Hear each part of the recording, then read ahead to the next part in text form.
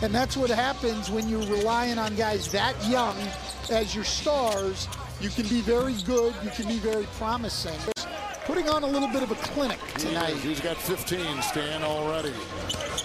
Waters on the wing. He played at LSU, and he buries the shot. So they're going to have a hard time keeping him off the glass. See what Memphis can do. Morant finds Adams. Pass was a little bit off, and here comes Waters. Nice. See what Memphis can do. Morant finds Adams.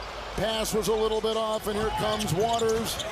Nice fake and a beautiful corkscrew move by Mamukelashvili.